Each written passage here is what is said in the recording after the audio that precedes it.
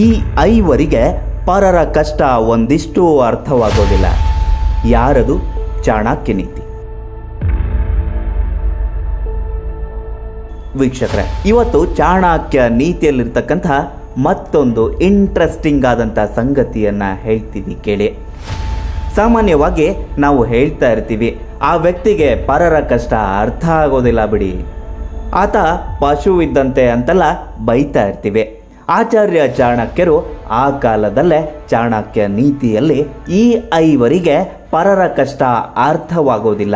ಈ ಐವರು ಯಾರ ಕಷ್ಟಕ್ಕೂ ಸ್ಪಂದಿಸೋದಿಲ್ಲ.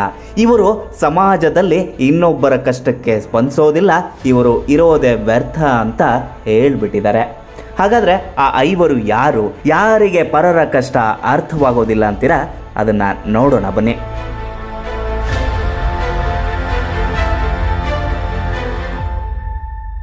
ರಾಜನಲ್ಲಿರುವ ಹಣದಾಸೆಗೆ ಬಲಿಯಾಗಿ ಮೈ ಸುಖ ನೀಡುವ ವೇಶ್ಯೆ. ಆಕೆಗೆ ಪರರ ಕಷ್ಟ ಒಂದಿಷ್ಟು ಅರ್ಥವಾಗೋದಿಲ್ಲ ಅಂತ ಹೇಳ್ತಾರೆ ಆಚಾರ್ಯ ಚಾಣಕ್ಯ. ರಾಜನಲ್ಲಿರುವ ಹಣದಾಸೆಗೆ ಮೈಯನ್ನ ಮಾರಿಕೊಳ್ಳುವಂಥ ವೇಷೆಗೆ ಹಣವನ್ನು ಸಂಪಾದನೆ ಮಾಡೋದೊಂದೇ ಗುರಿ ಇರುತ್ತೆ ಹೊರತು ಪರರ ಕಷ್ಟ ಆಕೆಗೆ ಒಂದಿನಿತು ಅರ್ಥವಾಗೋದಿಲ್ಲ. ಆ ರಾಜ್ಯಕ್ಕೇನೇ ಕಷ್ಟ ಬಂದರೂ, ಆ ರಾಜ್ಯದಲ್ಲಿರುವ ಪ್ರಜೆಗಳಿಗೇನೇ ಕಷ್ಟ ಬಂದರೂ, ಈ ವೇಶ್ಯೆ ಮಾತ್ರ ತನ್ನ ಸುಖದಲ್ಲಿ, ತನ್ನ ಹಣದಾಸೆಯಲ್ಲೇ ಮುಳುಗಿರ್ತಾಳೆ ಅಂತ ಹೇಳ್ತಾರೆ ಆಚಾರ್ಯ ಚಾಣಕ್ಯರು.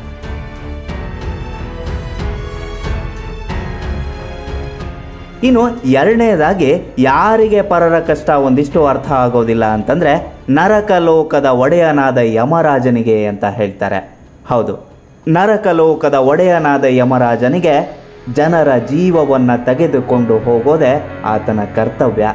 ಆತ ಬೇರೆಯವರ ಕಷ್ಟಗಳನ್ನು ನೋಡ್ತಾ ಕೂರೋದಿಲ್ಲ. ಈ ವ್ಯಕ್ತಿಯ ಪ್ರಾಣಹರಣ ಮಾಡಿದರೆ ಆತನ ಕುಟುಂಬದವರಿಗೆಷ್ಟು ನೋವಾಗುತ್ತೆ, ಆತನ ಸಂಗಾತಿಗೆಷ್ಟು ನೋವಾಗುತ್ತೆ ಅಂತ ಆತ ಯಾವ ಕಾರಣಕ್ಕೂ ಚಿಂತಿಸೋದಿಲ್ಲ. ಯಾಕಂದರೆ ಆತನ ಕರ್ತವ್ಯವೇ ಜೀವವನ್ನು ಹರಣ ಮಾಡಿ ತೆಗೆದುಕೊಂಡು ಹೋಗೋದು.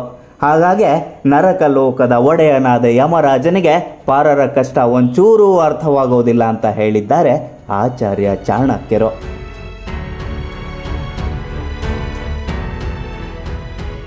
ಇನ್ನು ಮೂರನೇದು ನೋಡಿ ಎಷ್ಟು ಚೆನ್ನಾಗಿದೆ ಅಂತ. ಚಿಕ್ಕ ವಯಸ್ಸಿನ ಬಾಲಕ.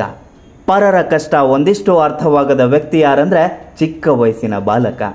ಅಂದರೆ ಬುದ್ಧಿ ಬೆಳೆಯದ ಮಕ್ಕಳಿಗೆ ಯಾರ ಕಷ್ಟವೂ ಅರ್ಥವಾಗೋದಿಲ್ಲ. ತಮ್ಮ ಕುಟುಂಬವೇ ಕಷ್ಟದಲ್ಲಿದ್ರು, ತಮ್ಮ ಸಮಾಜವೇ ಕಷ್ಟದಲ್ಲಿದ್ರು, ಇನ್ನು ಬಾಲ್ಯಾವಸ್ಥೆಯಲ್ಲಿರ್ತಕ್ಕಂತಹ ಮಕ್ಕಳು ಖುಷಿಯಾಗೇ ಇರ್ತವೆ. ಯಾಕಂದ್ರೆ ಅವುಗಳಿಗಿನ್ನೂ ಪ್ರಾಪಂಚಿಕ ಜ್ಞಾನವೇ ಬೆಳೆದಿರೋದಿಲ್ಲ ಅಂತ ಹೇಳ್ತಾರೆ ಆಚಾರ್ಯ ಚಾಣಕ್ಯರು. ತುಂಬ ಸರಳವಾದಂಥ ಸಂಗತಿಯಾದರೂ ಎಂಥ ಗಹನವಾದಂಥ ವಿಚಾರ ಇದರಲ್ಲಿದೆ ನೋಡಿ.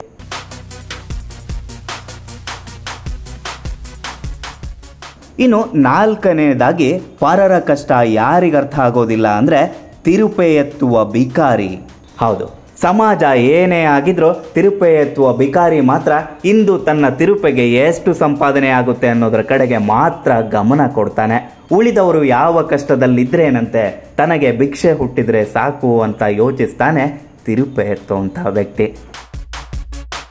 ಇನ್ನು ಐದನೆಯದಾಗಿ ಯಾರಿಗೆ ಪರರ ಕಷ್ಟ ಅರ್ಥ ಆಗೋದಿಲ್ಲ ಅಂದರೆ ಗ್ರಾಮಕ್ಕೆ ಮುಳ್ಳಾಗಿರುವಂತಹ ಗ್ರಾಮಾಧಿಕಾರಿ ಅಂತ ಹೇಳ್ತಾರೆ ಆಚಾರ್ಯ ಚಾಣಕ್ಯರು. ದುರಾಸೆಯಲ್ಲಿ ಮುಳುಗಿರುವಂತಹ ಗ್ರಾಮಾಧಿಕಾರಿ ಗ್ರಾಮಕ್ಕೆ ಯಾವುದೇ ಕಷ್ಟ ಬಂದರೂ ಚಿಂತಿಸೋದಿಲ್ಲ. ಆತ ಕೇವಲ ತನ್ನ ದುರಾಸೆಯಲ್ಲೇ ಮುಳುಗಿ ಹೋಗಿರ್ತಾನೆ ತಾನು ಏನನ್ನ ಗ್ರಾಮದಿಂದ ಪಡೆದುಕೊಳ್ಬೇಕು ಅಂತ ಯೋಚಿಸ್ತಿರ್ತಾನೆ ಹೊರತು ಪರರ ಕಷ್ಟವನ್ನು ಆತ ಚಿಂತನೆ ಮಾಡೋದೇ ಇಲ್ಲ ಅಂತ ಹೇಳ್ತಾರೆ ಆಚಾರ್ಯ ಚಾಣಕ್ಯರು.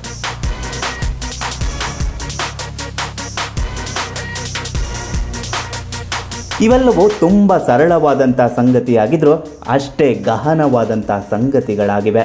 ನಮ್ಮ ಸುತ್ತಮುತ್ತಲೂ ಇವತ್ತಿಗೂ ಪ್ರಸ್ತುತವಾಗಿರುವಂಥ ಸಂಗತಿಗಳಿವು ಅನ್ನೋದು ಆಚಾರ್ಯ ಚಾಣಕ್ಯರು ಅಂದಿನ ಕಾಲದಲ್ಲಿ ಹೇಳಿದ್ರು, ಇಂದಿಗೂ ಕೂಡ ಇವು ಪ್ರಸ್ತುತ ಅನ್ನೋದರಲ್ಲಿ ಎರಡು ಮಾತೇ ಇಲ್ಲ ಅಲ್ವಾ?